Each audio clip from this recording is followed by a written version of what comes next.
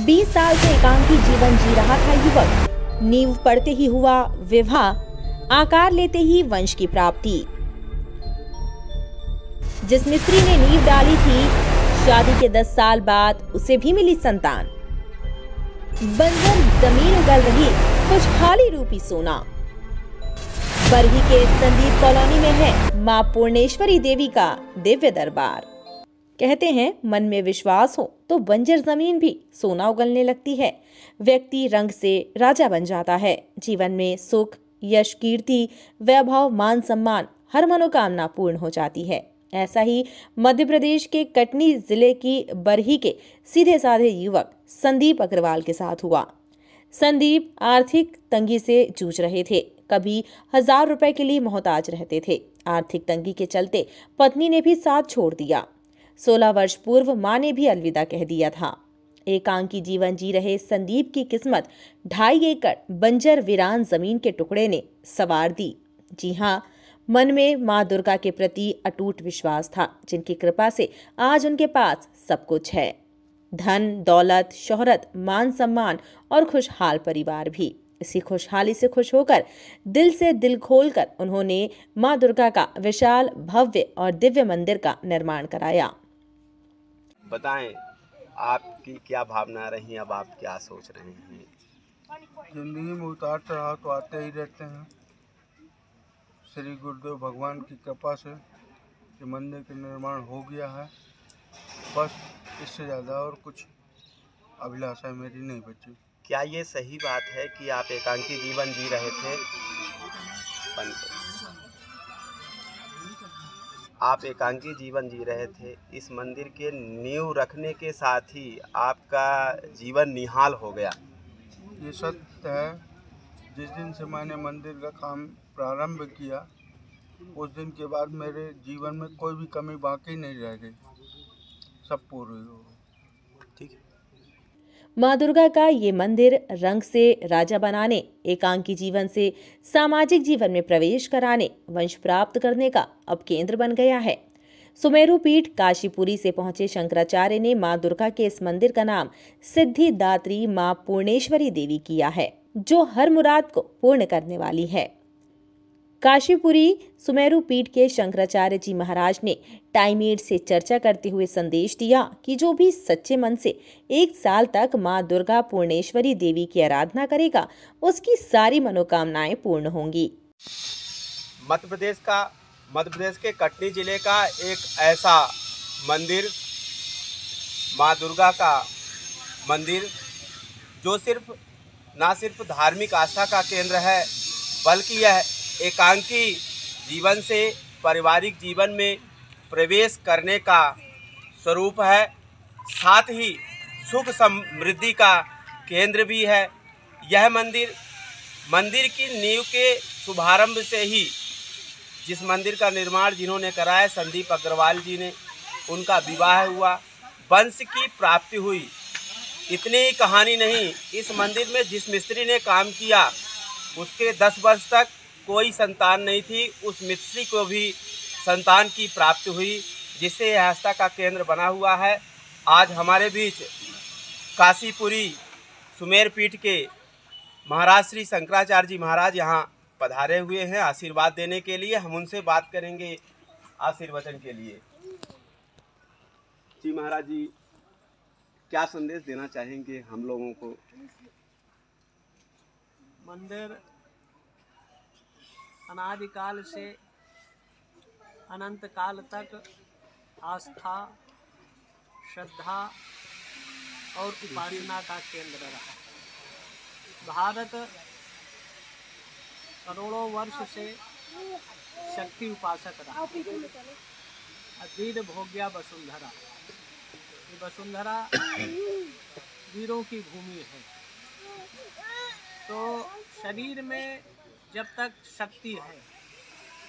और शक्ति नहीं भी है तो शक्ति उपासना से प्राप्त किया जाए शक्ति को साइंस की दृष्टि से देखें, ऊर्जा के रूप में उसको व्यक्त करता है।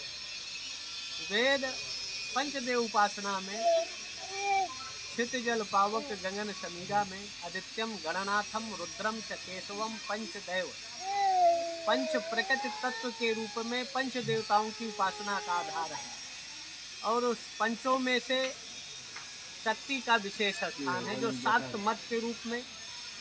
और उस शक्ति का आधार आदि शक्ति से हम लेते हैं, जहाँ विश्व का राशिकृत सौंदर्य उपासना के रूप में उपास्य हो। इस धरातल पर जो आदिशक्ति, परम्बा, दुर्गा की उपासना करते हैं तो यम यम चिंतते कामम तम तम प्राप्त नोत भूतले कुमार। इस भूमंडल में जो निष्ठा, भक्ति दिन में अगर समय नहीं तो रात्रि में ही अगर दुर्गा का हम संपुटित पाठ करते हैं तो एक वर्ष के अंदर इच्छा बरही के ग्राम खन्ना में संदीप कॉलोनी में संदीप अग्रवाल ने चार साल पूर्व मंदिर की आधारशिला रखी। नींव पड़ते ही 20 साल की एकांकी जीवन जी रहे संदीप का विवाह माँ दुर्गा के चमत्कार से लक्ष्मी रूपी आरती से हो गया। मंदिर धीरे धीरे आकार ले रहा था, फिर माँ की कृपा हुई और संदीप को वैदिक नाम के वंश की प्राप्ति हुई। वहीं एक मिस्त्री ऐसा था जिसका विवाह दस साल पूर्व हुआ था। उसकी संतान नहीं थी और नींव पड़ते ही माँ की कृपा से उसे भी संतान की प्राप्ति हो। मंदिर निर्माण के साथ हुए चमत्कार से आए खुशहाली से खुश होकर संदीप ने मंदिर निर्माण में भव्यता लाने में जुड़ गए। रंग से राजा बनाने का धार्मिक केंद्र बना माँ दुर्गा का मंदिर, जहाँ संदीप अग्रवाल द्वारा इसे निर्मित कराया गया। विशाल एवं भव्य मंदिर में माँ दुर्गा की दिव्य प्रतिमा की प्राण प्रतिष्ठा की गई। इसके लिए देश के चारों दिशाओं से आए विद्वान पुरोहितों द्वारा विधि विधान से प्राण प्रतिष्ठा की गई विशाल शोभा यात्रा निकाली गई, जिसमें हाथों में कलश लिए महिलाएँ युवतियाँ धार्मिक गंगा में डुबकी लगाते हुए झूमती हुई चल रही थीं।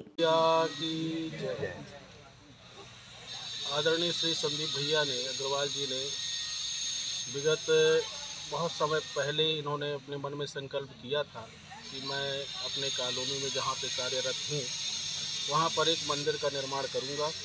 और उन्होंने मंदिर का निर्माण प्रारंभ भी किया।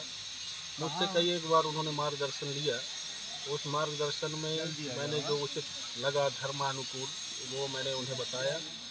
आज सात दिनों से बाहर से आए हुए विद्वानों के द्वारा यहाँ पर मूर्ति प्रतिष्ठा की जो भी प्रक्रियाएँ हैं अन्नाधिवास वस्त्राधिवास इत्यादि क्रियाएँ कहाँ कहाँ से विद्वान आए हैं यहाँ पर विद्वान हैं बनारस से दो लोग हैं और महाराष्ट्र से तीन लोग हैं। दो लोग नरसिंहपुर से हैं। ऐसा करके अलग अलग जगह से यहाँ विद्वान हैं और सभी के द्वारा अलग अलग वेदों का पाठ और वैधानिक रूप से जो क्रियाएँ हैं वो की जा रही हैं। आज मूर्ति का प्रतिष्ठापन सुबह हुआ। आज मूर्ति अचल प्राण प्रतिष्ठा के रूप में विराजमान हुई जिनका नाम पूर्णेश्वरी देवी के नाम से आया है और पूर्णेश्वरी देवी के नाम से सुप्रसिद्ध होंगी। अभी सदगुरुदेव भगवान ने भी नामकरण किया अष्ट नवदुर्गा सिद्धदात्री मंदिर के नाम से उन्होंने नामकरण किया है। लेकिन मैं ये ज़रूर संदेश देना चाहूँगा कि मंदिर नींव पड़ते ही चमत्कार, मालिक का विवाह, पुत्र रत्न की प्राप्ति तो मिस्त्री को भी संतान की प्राप्ति हुई। 16 वर्ष पूर्व बरही नगर के सज्जन समाज से भी संदीप अग्रवाल ने दुर्गा मंदिर का निर्माण कराने का संकल्प लिया था, जिसका भूमि पूजन उनकी स्वर्गीय माँ सोनाबाई अग्रवाल के हाथों 16 वर्ष पूर्व हो चुका था। इसी बीच माँ चल बसी और पहली पत्नी ने साथ छोड़ दिया, तब से वह एकांकी जीवन जी रहे थे। चार साल पूर्व मंदिर निर्माण की आधारशिला रखते हुए संदीप का विवाह लक्ष्मी रूपी आरती से संपन्न हुआ। संदीप अग्रवाल दिल खोलकर मंदिर को भव्य बनाने में जुट गए। इसी बीच पुत्र वैदिक का जन्म हुआ। ये माँ दुर्गा का ही चमत्कार था। इतना ही नहीं, मंदिर निर्माण में जुटे एक मिस्त्री जिसकी शादी के दस साल हो चुके थे, संतान नहीं हो रही थी। मंदिर की नींव पड़ते ही मिस्त्री को भी पुत्र रत्न की प्राप्ति हुई। बाइट संदीप अग्रवाल। करीब 22 वर्ष पूर्व संदीप अग्रवाल की आर्थिक स्थिति दयनीय थी। जिस ज़मीन में अब संदीप बस चुके हैं, वह पूरी तरह बंजर, वीरान थी। ढाई एकड़ ज़मीन संदीप के नाम थी, जिसमें उन्होंने महज दस रुपए, पंद्रह रुपए फिट के हिसाब से बेचना प्रारंभ किया और संकल्प लिया कि यहाँ दुर्गा जी का मंदिर भी बनाना है। उस समय खरीदार भी बड़ी मुश्किल से मिलते थे। धीरे धीरे ये कॉलोनी बन गई। यहाँ की विक्रय हुई ज़मीन से मिले रुपए से संदीप ज़मीन खरीदते गए। जिस ज़मीन को भी खरीदा, वह बहुमूल्य हो गई। फिर होना क्या था? माँ दुर्गा की कृपा से अब संदीप रंग से राजा बन गए। जिनके पास अब किसी चीज़ की कमी नहीं है। वह पूरी तरह से अब अपने जीवन से संतुष्ट हैं।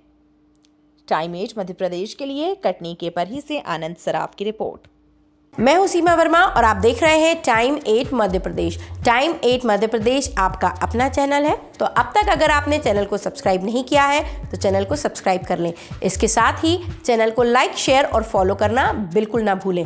हमें हमेशा इंतज़ार रहता है आपके कमेंट्स का।